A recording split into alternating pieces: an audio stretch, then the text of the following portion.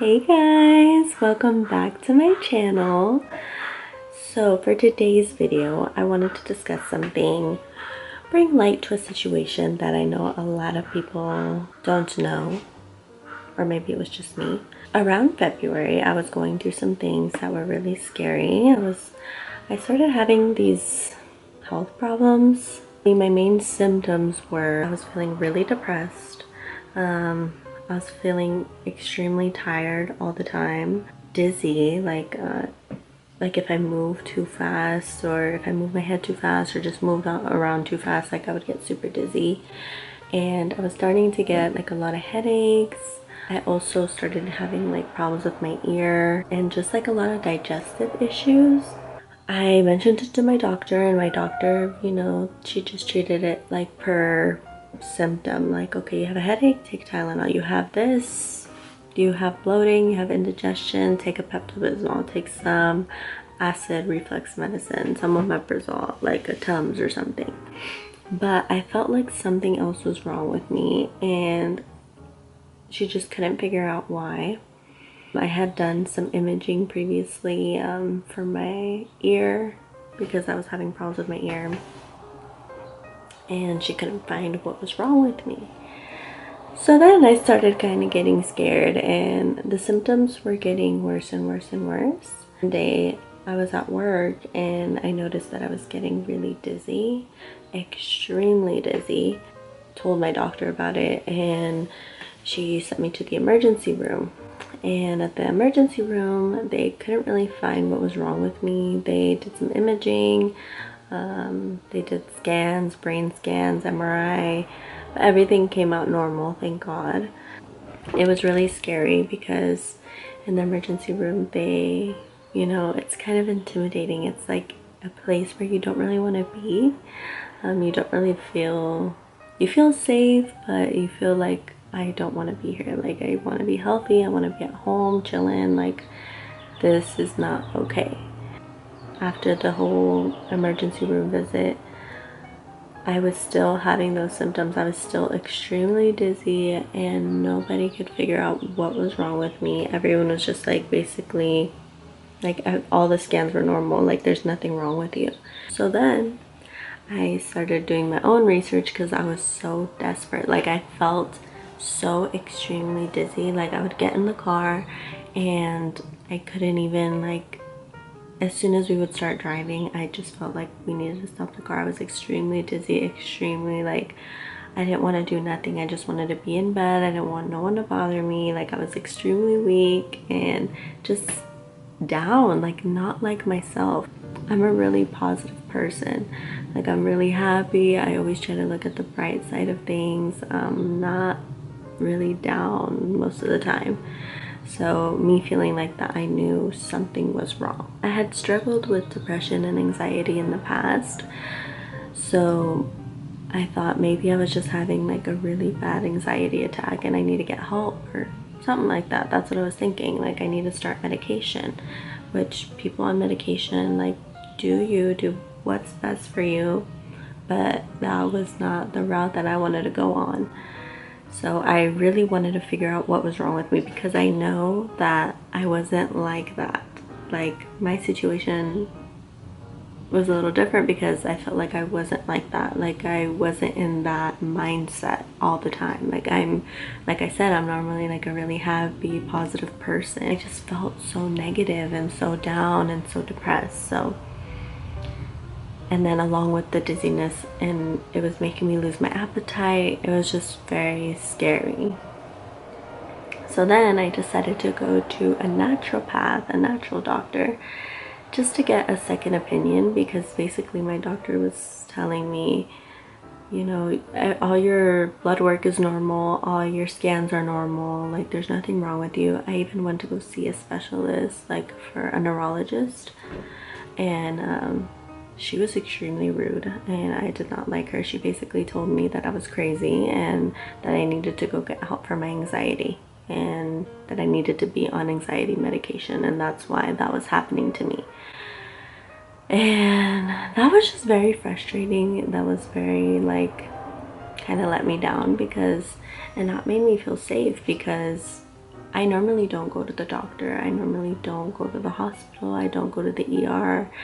But I only go because when I really need it. And this time they were telling me nothing was wrong with me and they were basically just numbing me up. But I wanted to get to the problem, get to why am I acting like a crazy bitch? I did my own research and I started seeing a lot about vitamin B12 and I, I asked my doctor like hey do you think like we can check that and she was like no your blood work came back normal so I don't think that's necessary so I was like okay so I went to a naturopath and I explained to her all my symptoms. I told her I'm feeling extremely weak I'm feeling extremely dizzy I'm super depressed I feel sad um, like I have no motivation like I just want to be in bed because I felt so weak and I have like no my appetite is gone like loss of appetite um what else that's basically the main symptoms that I was having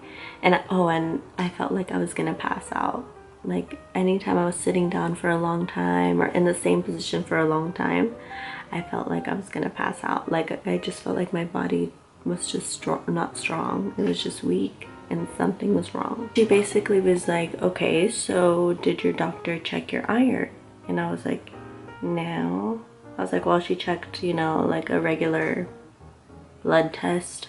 And she was like, oh, well, everything's normal based off based off the basic blood test that they do when you get like a physical. She was like, everything was normal, so there's nothing more needed to be done. And she was like, well, let's go ahead and check your iron. Um, she's like, let's check your ferritin and also let's check your vitamin B12. So we did that. Results came back. I was extremely low in ferritin and when you're low in ferritin, it means you don't have a lot of iron in your body because ferritin is what stores iron in your body. If you're low on your iron storage, then of course you don't have a lot of iron stored in your body, so you're low on iron. I think the minimum that you're supposed to have for ferritin is 16 and mine was 9. So she was like, you need to get on iron ASAP. Another test that she did was the vitamin B12 and that one came back okay. Like a big range. It's supposed to be from like 200 to like a thousand something like that. And mine was like 500 530 or something. But she said ideally she would recommend that it be in the 700s 800 so she told me to take a vitamin b12 supplement as well and if you are low in vitamin b12 you have those symptoms that i was having. So one of the supplements that i'm taking is um, this called blood builder. I saw really good um, reviews on it on amazon. And i saw like a lot of videos on youtube of girls talking about them taking blood builder and that it really helped increase their iron levels because it has vitamin c and vitamin C really helps the absorption of iron in your body. And I've been taking it for a month and my last blood test it went from 9 and now it's 15 and like I said the minimum is 16 but my naturopath was saying that you should be a little bit over that. I think ideally it should be like in the you know what? I'm not even gonna say because I don't know but she's like she wanted to be higher so I'm just gonna keep taking that and let me tell y'all the dizziness started going away eventually when I started taking the iron and the vitamin B12 the dizziness, the loss of appetite, that started going away and I was able to move around more and get up and do stuff. But then I still felt that feeling of like depression, of really bad depression. I was getting really bad paranoia, like, and that's just not me. I'm usually the type that I just don't a fuck. I just walk around and, you know, I'm chilling, but I was having really bad like paranoid thoughts like something was gonna happen or I was just constantly nervous. My anxiety was like through the roof. So once I went back for a follow-up I told her so she was like okay well let's do um, let's check your vitamin D and see how that's gonna be. And I kind of suspected already that my vitamin D was gonna be low and the results came back and they were like I expected extremely extremely low. I think your vitamin D is supposed to be like around 30s 40s mine was at 11 yeah some vitamin D symptoms are extreme fatigue, extreme tiredness, bone pain, back pain, very bad depression. That's a big sign of vitamin D deficiency that I know that a lot of people don't know. And it's just like, I did not know that. I did not know that at all. I thought that I was gone. I thought something was wrong with me. I was like, there's no way, like, I'm like this, I'm gonna need medication, I need to do this, I need to do therapy. But it happened to be a vitamin D deficiency and she was actually surprised. She was like, oh my gosh, like how do you even get out of bed in the morning? Like usually people with a vitamin D deficiency are just extremely tired. And I was like, girl, I am tired, but I gotta pay the bills, so I gotta get up. About a week into taking my vitamin D supplement, I felt like a completely different person. I felt brand new. I felt so different. Like I started feeling like myself again. I started feeling like my happy self. It was just crazy. Like all the things that I had to go through in order for me to realize like that this was happening. But I mean, it was God's plan, I guess. The vitamin D supplement that I'm taking is my camera will focus I'm taking a thousand units a day. I was taking 2,000, but um, this gives you a lot of energy. So I was noticing that I was kind of getting anxious while on it. So she told me just take a thousand and then see where we go from there. Um, she's gonna check my blood work back in like two months.